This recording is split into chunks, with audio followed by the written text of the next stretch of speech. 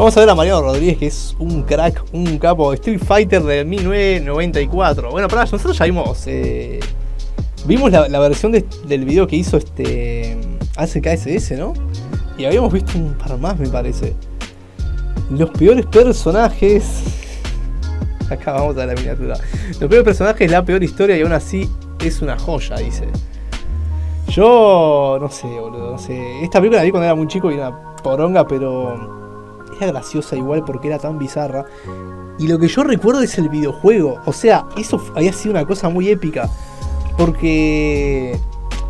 Vieron que por lo general, digamos, se hace la- el videojuego, se hace una película sobre el videojuego, pero nunca sale un videojuego sobre la película de un videojuego. O sea, es terrible chasco salió. Igual creo que no estaba tan tan pésimo el videojuego de esta película. Por lo menos se veía un toque medio medio, ¿no? Medio cancerígeno también, pero bueno. Bueno, vamos, vamos a ver esto, es un cago de risa, vamos por ahí. siguiente película contiene a Van Damme drogado, adaptaciones de personajes que no saldrían quintos en un cosplay cordobés, un japonés que no habla inglés, Blanca y Alcin, una tragedia cinematográfica en formato dúo, uno de los planes finales más ridículos alguna vez hechos y por algún motivo... Es verdad, Minogue. 1994, la historia es muy simple. Capcom quiere hacer una peli de Street Fighter. Steven de Souza, guionista de obras maestras como 48 horas, Comando y Duro de Matar, es convocado para escribir y dirigir. Quiere tomarse 15 días para ensayar las escenas de pelea, pero la mitad del presupuesto se va en el sueldo de Van Damme y Julia. Adiós ensayos. De Souza solo una cosa, que sean 7 personajes. Más, le impedirían contar una historia coherente. Entendido, responde Capcom, y procede a forzar un total de 16 personajes al guion final, incluyendo a Kenya Sawada, un japonés que no sabe hablar inglés para quien inventan un personaje llamado Capitán Sawada. La filmación comienza y un par de detalles se hacen aparentes. Van Damme toma 10 gramos de falopa por 10, Sí, Raúl. Julia tiene cáncer. Las Es verdad, boludo. Van Damme confesó eso, confesó que tomaba, se tomaba un par de bolsas ahí cuando grababa, no sé.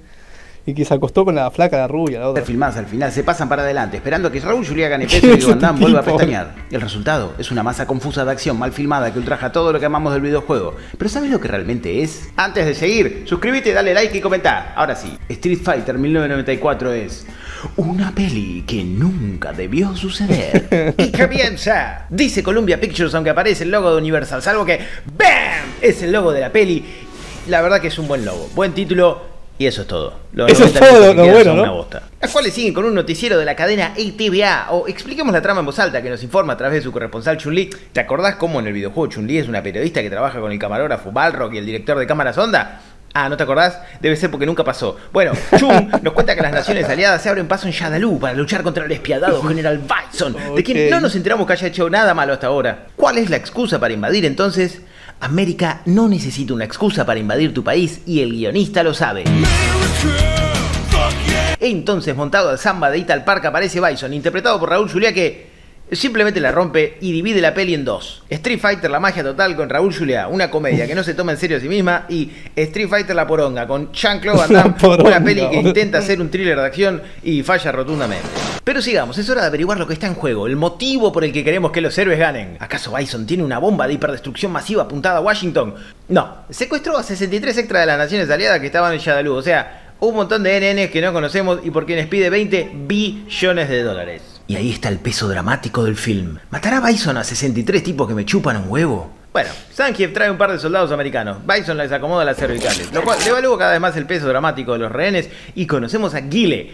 Sorry, yo sé que es Guile, pero en mi barrio se le decía Guile. Quien en un acto de irreverencia absoluta le tira un corte de mangas a Bison. Es el soldado americano por excelencia. Gangoso, drogado y nacido en Bélgica. El problema número uno de Van Damme son, aparte de las que se tomó, las líneas que le dieron para decir. Ah, junto a Van Damme está Killy Minogue. Se nota, boludo. Se nota que está repuesto, ¿no? Está re duro. Yo creo que se nota, boludo. Qué desastre, boludo.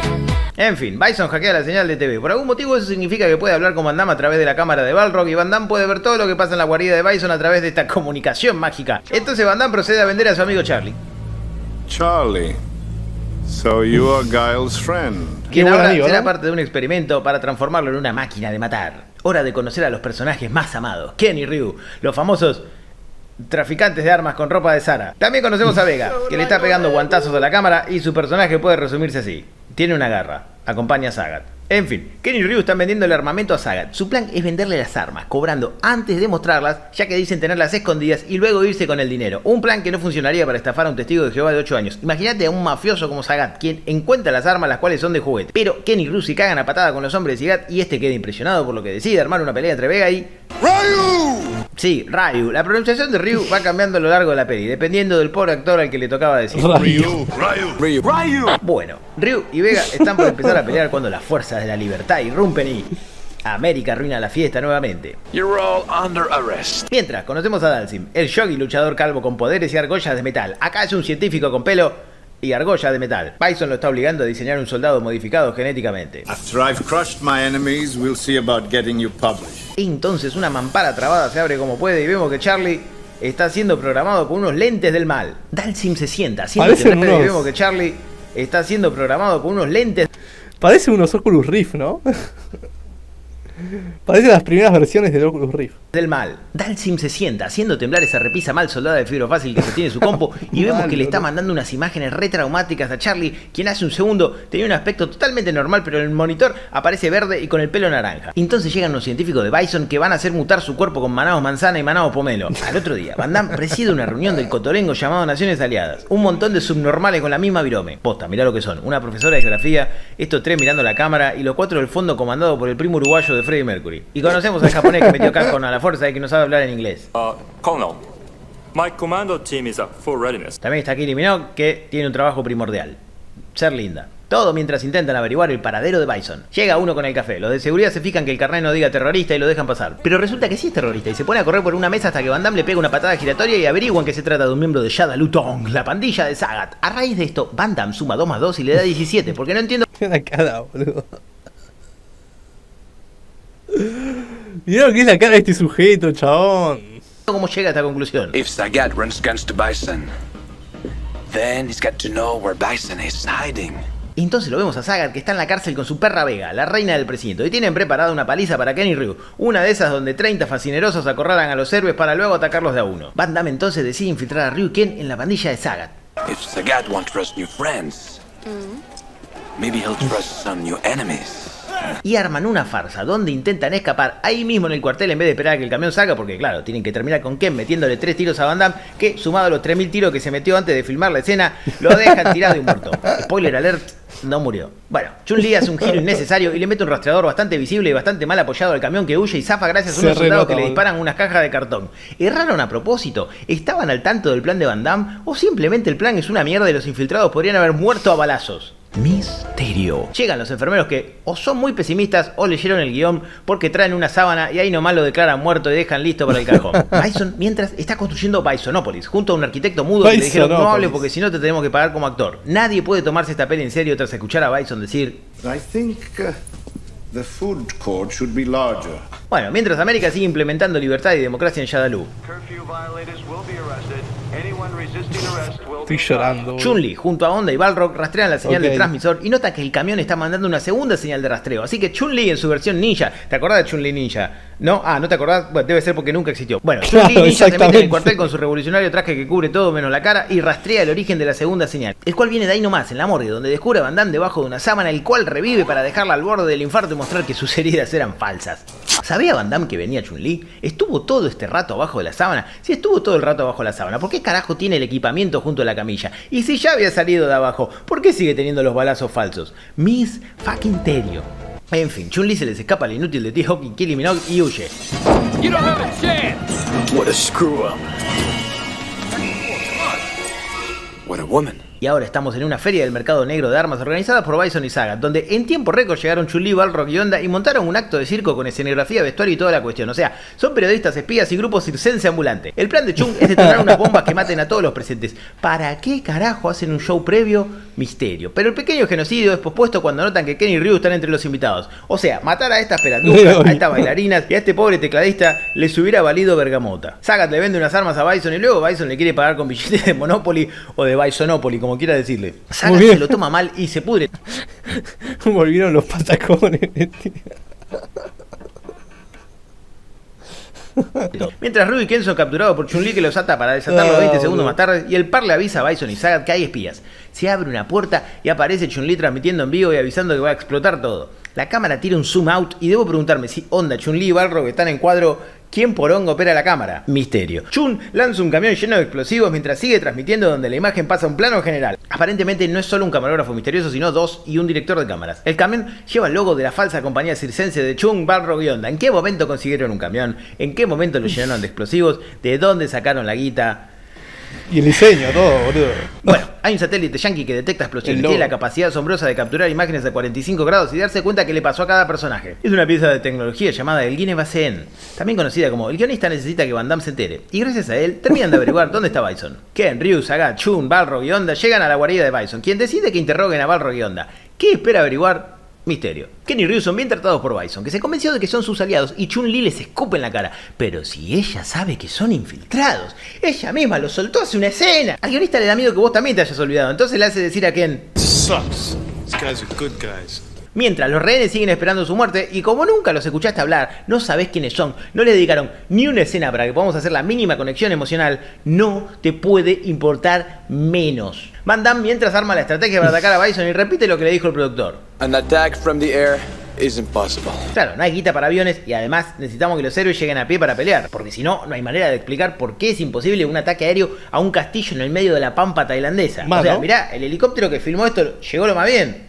Pero bueno, Van Damme prefiere reducir el ataque a Kiri Minogue, él y T-Hawk en un bote. Esta incoherencia táctica hace que hasta el japonés, que no sabe inglés, se indigne. A single boat against everything he's got? Mientras están torturando a Onda, Barrock se ríe mirando a cámara, le dan un correctivo. El torturador se va en un rapto de brillantez napoleónica, Onda y Barrock tiran fuerte de las cadenas, lo cual funciona. Finalmente vemos a Kenny Ryu vestidos como en el videojuego. Digamos que a nivel cosplay, el Scorpion Matero les gana. Van Damme se prepara para salir a pelear. Por algún motivo tiene armado un atril con un micrófono. Entonces llega un asqueroso y pusilánime burócrata inglés a decir que la operación se cancela. Van a pagar el rescate. Pero Van Damme, que ya tenía todo el fin de organizado para ir a la guerra, le cae muy mal. No. You've lost your balls. Entonces, da una noticia que pondría contento a John Lennon. The war is cancelled. We can all go home. Pero Van Damme sabe que la paz no se alcanza acabando la guerra. Se alcanza con un ataque anfibio usando armas semiautomáticas y gracias al atril que tenía construido da un discurso que inflama las emociones de los soldados y los transforma automáticamente en mercenarios y terroristas al mando de un belga drogadicto. Mientras, Bison está seduciendo a Chun-Li. Chabón, qué película de mierda, ¿no? O sea, es, es, es duro, duro ver esta mierda. Daiso se pone su bata de seda, su visera sexy de la suerte y prepara un Campari, agitado, no batido. Ella le intenta recordar el día que mató a su padre y destruyó su aldea, pero Bison no lo recuerda. The day Bison graced your village was the most important day of your life. But for me, it was Tuesday. Mientras, Ken y Ryu intentan salvar a Onda y Barro, quienes, al igual que Chung, olvidaron que estaban infiltrados. ¿Quién se lo recuerda? Lo grita, como para que el guionista tampoco se olvide. What I said was. We're on the same side! Bueno, Bison sigue ofreciendo una velada soñada, con música romántica y hasta un cuadro de sí mismo en versión payaso que pintó para demostrar que es un tipo sensible. Soñada, con No música podés, romántica y hasta un cuadro de sí mismo en versión payaso. Es como una imitación o un tributo al- a los cuadros que hacía Pogo, ¿no? El payaso asesino. Qué trucho, chabón. Esto es muy, muy trucho se ya. pintó para demostrar que es un tipo sensible. Pero Chun-Li demuestra una falta de cortesía flagrante y lo ataca. canción, está por liquidar cuando los cuatro inútiles la distraen y Bison escapa. Enseguida activa un gas venenoso y cierra la mampara de fibrofácil con un centímetro de grosor que Stephen Hawking podría derribar de una patada. Todos se desmayan y Bison ríe, pero no desesperéis. Van Damme y su tropa de mercenarios desertores terroristas que se acercan por Nordelta o Xochimilco si son mexicanos, llegan para salvar el día. Formation attack. Van Damme siente que es el momento adecuado para poner un video recordando a su amigo Charlie, que no sabe ni ponerse el parche de su país al derecho, y finalmente ahí lo tenemos. El peor mutante de la historia del cine. Blanca. Una Blanca, especie de sí. Eddie Vedder nacido en Chernobyl. Está bueno porque acá está la comparación, boludo. Miren cómo es Blanca realmente, ¿eh? En los videojuegos y lo que hicieron acá, boludo. O sea. La patinaron mal, ¿no? no, qué pija el chabón. ¿Por qué no pueden hacerlo bien? Blanca. Una especie de Eddie Vedder nacido en Chernobyl. Dalsim se hace el boludo y le cambia la programación. En vez de imágenes de guerra, ahora le pone una boda y unos delfines, haciendo que Blanca deje de ser una máquina de matar, pero sienta la necesidad inexplicable de casarse con un sándwich de atún. Van Damme entonces que Blanca deje río de ser una máquina de matar, pero sienta la necesidad inexplicable de casarse con un sándwich de atún. Van Damme entonces activa el modo camuflaje, lo cual se traduce en unos rayos, un zoom out, zoom in a una antena de radio y no mucho más. El bote se vuelve ligeramente transparente, eso es todo. Salvo en las cámaras de Bison donde es invisible, lo cual sería un golazo si no fuera porque las olas que genera el bote son totalmente notorias. Bison hackea la lancha, que tiene uno de esos sistemas mágicos de comunicación, y Van Damme le deja saber que está llegando. This is the collection agency, Bison. Your ass is six months overdue. And it's mine. Pero Bison se monta al samba y comienza el ataque usando los controles de un arcade de Street Fighter. Que a nivel estupidez esto rivaliza con otros objetos de película como la bati tarjeta de Street Fighter. Sí, pará, quiero- quiero y comienza el ataque usando los controles de un arcade. Qué decisión tan estúpida, chabón. Qué decisión tan estúpida, no. Esto, esto ni me acordaba, boludo. de Street Fighter. Creo que a nivel estupidez esto rivaliza con otros objetos de película Sí. como la bati tarjeta de crédito. Bison empieza a tocar botones y mover la palanca como yo la primera vez que jugué al Street Fighter en el Ramo Mejía y esto desencadena una seguidilla de reacciones en plano corto. Y finalmente hace cagar al bote. Mientras el guardia que custodia a Dalsim descubre que Blanca está viendo la programación de History Channel en el 98 y lo voltea al científico que enseguida le aplica termotransnucal y arranca situación de chispa. Hay picada, más chispa, lluvia de manados y una frase tan mala que es buena. Entonces aparece Blanca en su estado final, una cruz entre Pennywise, Bob Esponja, Cavernícola y Navarro Montoya. Agarra al guardia y lo lanza contra la muerte. ¿Creíste que Van Damme había muerto? ¡Sonso! ¡Te engañé! Mirá cómo le da una paliza a estos soldados junto a Kili Minogue. Nada mal, Kili, ¿eh? Pensar que es esta misma piba que... Van Damme avanza, hay dos guardias. Van Damme le rompe el esternón a uno, el otro por suerte es sordo. Logra llegar hasta el laboratorio de Bison donde encuentra a su viejo amigo Charlie. El pobre de Blanca le pide ayuda. Van Damme vira en su corazón y encuentra la solución. Eutanasiarlo de un tiro en la frente. Pero Dalsim, que es provida, lo detiene. Mientras el japonés de Capcom sigue con la guerra. Contra el idioma inglés. A todo esto Bison enojado porque ya es 11 del mes y las naciones aliadas no depositaron, decide matar a los rehenes. No sé si te acordás, es sobre unos rehenes la peli. Y para eso Sí, planea cierto. utilizar a su creación, el Valderrama de Shadaloo, Blanca. Pero tomá, gato, el que sale del incubador es Van Damme con una patada voladora que rompe 6 récords olímpicos de salto en largo y en alto. Claro que meter un viaje tan largo en patada es cansador, por eso para el tramo del medio trajeron a James Caan. Bueno, hay muchos tiros de ametralladora que como sabemos nunca han matado a un personaje bueno en el cine de acción y arranca Alto Bondi. ¿Quién le da un rodillazo a un soldado? Otro se asoma para que Ryu no se quede con la gana. Luego Van Damme empieza a disparar a cualquier lado. Las balas por suerte traspasan a quien. Killy Minogue pega un par de patadas. Pensar que y luego tira un bazucazo que hace saltar caucho pintado por todos lados. Blanca a todo esto le tomó el gusto asesinar y Dalsin Provida se quiere matar. Van Damme queda rodeado pero no le disparan porque el guion dice que en el plano siguiente va a estar lleno de soldados y efectivamente está lleno de soldados. Y entonces Van Damme está por hacer un mano a mano con Bison. Quiero tomarme un segundo... Boludo, es insoportable esta película, chabón. Es, es. Ya no la estoy soportando, boludo. Es demasiado. Demasiadas cosas, chabón. Cosas de mierda directamente, boludo. Arbitrario para señalar al pelotudo de T-Hawk, uno de los peores personajes de una peli llena de malos personajes. Miren y comparen la falta de No, músculos, el look de fan de Bon Jovi mal alimentado, la vincha hippie multicolor. T-Hawk, la concha de tu madre, T-Hawk. Y comienza la pelea. Van Damme demuestra que una cosa pega más duro que la falopa. América. Mientras, el capitán Sawada da por perdida la batalla frente al inglés y ya directamente habla en japonés. La pelea entre Bison y Jean-Claude no tiene pies ni cabeza. Van a pensar que soy yo, pero no. Es el editor real de la peli que apretó el botón de random. En un plano lo tiene del cuello, al otro le da una patada. Un plano al azar de la espalda, lo tiene del cuello otra vez, caen de cabeza pero aterrizan parados sobre el samba, lo tiene del cuello de un lado, le da una patada del otro, le pega contra una campana y cae, pero queda colgado del samba. Bueno, Van Damme le da una patada imposible desde abajo, un nanosegundo después está parado en el samba, otra patada, siente un retorcijón en el aire y siguen las patadas. Van Damme tira algo que se asemeja a la patada giratoria del videojuego. pija, Bison se aleja lentamente, pero sobre el final decide lanzarse contra un tablero y se electrocuta con un rayo de Magic Click que le crearon a Corman de los Cuatro Fantásticos. Y así muere Bison. Van Damme comunica esto a sus aliados. Colonel, are you alright? I'm okay. I'm just half dead. And Bison? All dead. Pero guarda porque se le empieza a inflar el traje a Bison, un método clásico de resucitación cardiopulmonar y revive. Inmediatamente lanza a Van Damme contra unos bloques de mantecol. Mientras Ryu es emboscado por Vega que lo acorrala contra unos lockers. Pero tomá, ahora está vos contra los lockers. Parece que este error de continuidad va a salvar a Ryu, pero llega Sagat y le pega un rodillazo. Parece que es el fin de Ryu, pero no, porque Ken se suma a la lucha. Vega le tira una patada a la nada. Sagat salta sin motivo aparente. Vega apuñala al aire. Ryu patea una bolsa. Sagat te Yo creo que el diseño de Vega es el mejor, eh. Vega está muy, muy bien hecho. a la lucha. Mira, Vega le tira una patada a la nada. Sagat salta sin bien. motivo aparente. Vega apuñala al Vega creo que es, el- eh, es muy parecido, muy igual, boludo, a, lo- a los videojuegos. Creo que es el mejor. Ryu patea una bolsa, Saga te troza una bola, Vega también se une a la destrucción del gimnasio, nadie le pega a nadie, pero entonces Ryu hace un- el- es, el- parecido al movimiento del Hadouken y hay una luz. No queda claro si fue magia o el editor se apiadó de la peli y le metió un flash. Del modo que sea, es el peor movimiento especial de un videojuego llevado a la pantalla grande. A todo esto Bison se pone a volar muy lento alrededor de Van Damme, con unos ataques que no superan en peligro los de una polilla promedio. Luego, enojado con Telecentro, le dispara rayos al modem y Van Damme, que estaba relativamente cerca, sale despedido. Entonces, mientras cita el libro de Lucas capítulo 10 versículo 18, hace un último ataque, pero Van Damme le da una patada agnóstica que lo hace quedar colgado de un arnés y explotan cosas. Chun-Li con Kylie Minogue y Balro con guantes liberan a los rehenes. Y el momento más triste de la peli ocurre cuando Zangief se entera cómo es la verdad de la milanesa. General Bison, he's a bad guy. If you know this, then why do you serve him? Because he paid me a freaking fortune, you moron. You got paid? El edificio empieza en Es un meme eso, boludo. No me esperaba, boludo, que diga eso. boludo. Es muy bueno. Because he paid me a freaking fortune, you moron. You got paid?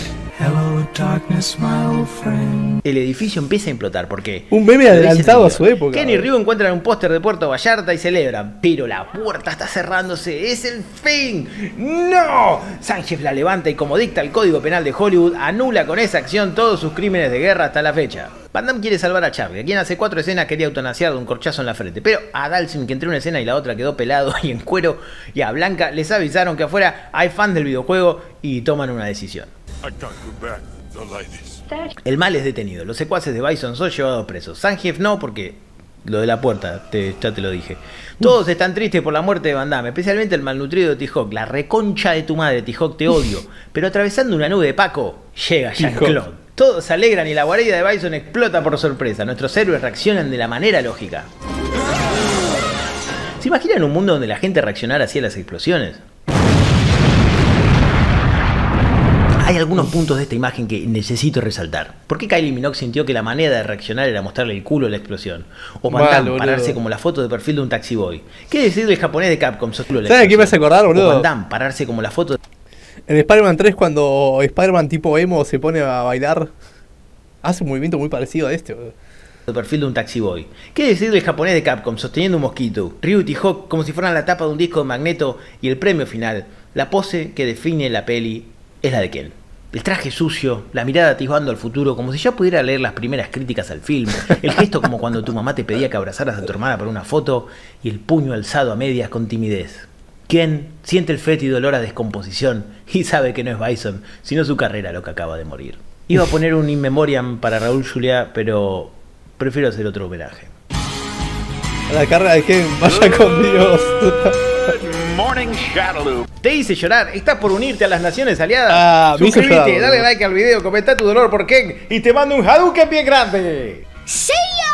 Seiya, eh... Bueno, yo ya- eh, hemos, he hablado bastante de esta película, creo, cuando vimos el. Te lo resumo así nomás, ¿no? Eh, él lo hizo también. Pero creo que de todas las reseñas que vi, me parece que la de Mariano Rodríguez es la mejor. Creo. O sea, porque le pone ese toque humorístico que lo necesita. Yo recuerdo cuando estaba viendo la reseña de ACKSS, ya lo- lo- los últimos minutos eran muy. No, no, era insufrible, boludo. No, no, quería sacarlo a la mierda ya. Pero este está espectacular.